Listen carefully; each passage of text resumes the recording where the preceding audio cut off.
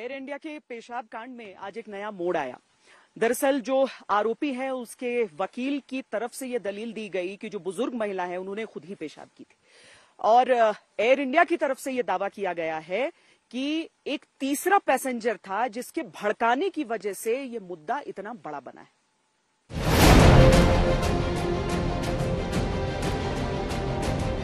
Air India में बुज़ुर्ग पर पेशाब करने के मामले में आज दो चौंकाने वाले दावे हुए। जिसके केंद्र में आरोपी न होकर बुज़ुर्ग है।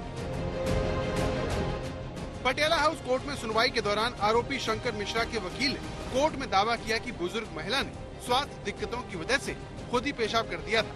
वकील ने अदालत को बताया कि बुज़ुर्ग 30 सालों तक भारतनाट्यम की डांसर रही हैं। भारतनाट्यम डांसर्स में पेशाब संबंधी दिक्कतें होना आम बात है।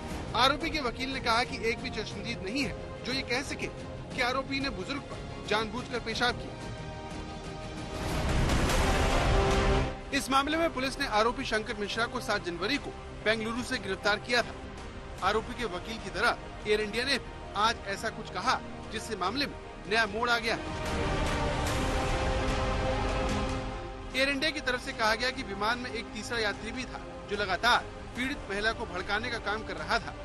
उस उकसावे की वजह से पीड़ित महिला ने मुद्दे को ज़्यादा बड़ा बना दिया।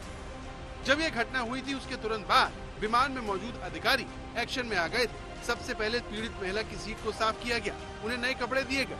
क्रू की तरफ़ से पीड़ित के सामान को साफ़ किया गया। एयर इंडिया का कहना है कि फिर भी महिला ने मामला दर्ज करवाया। इस मामले में आरोपी के दावों को पीड़ित महिला ने खारिज करते हुए इसे अपमानजनक बताया है। संजय शर्मा के साथ, पॉल मिसाहा, दिल्ली, आज तक।